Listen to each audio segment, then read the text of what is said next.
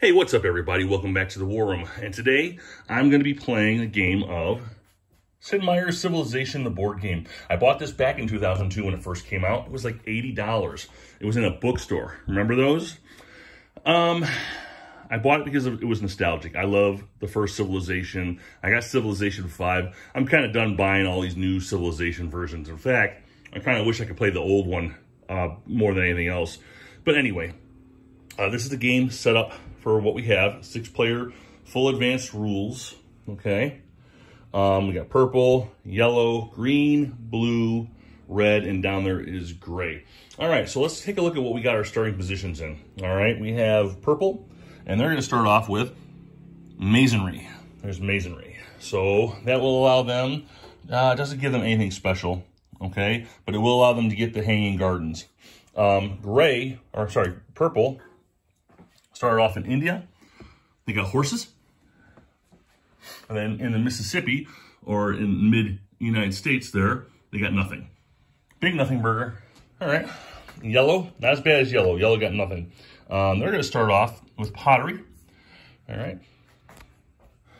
And they're here in um, South America with nothing. And up here, Northern Africa, nothing. Okay? Not good. Not a good start. Green, they start off with ceremonial burial, and they are going to be over here, right here, uh, just east of Italy, with some grapes.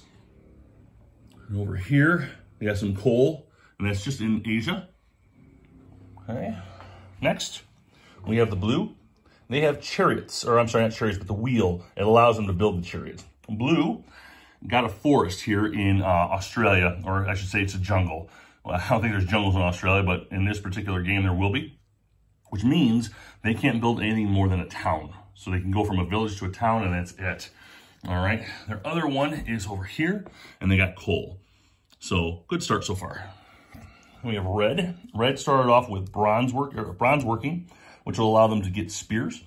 Uh, red went north. So they got ore up here in Asia. And then all the way over here in Canada, got jungle. We'll say it's forest.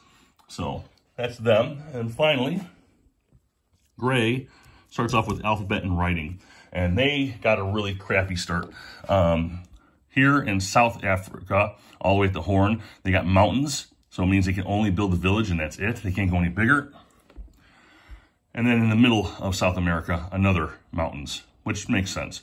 Uh, so I think yellow and gray are going to have a lot of conflict trying to fight over what they've got here. So uh, this is what we got to start with.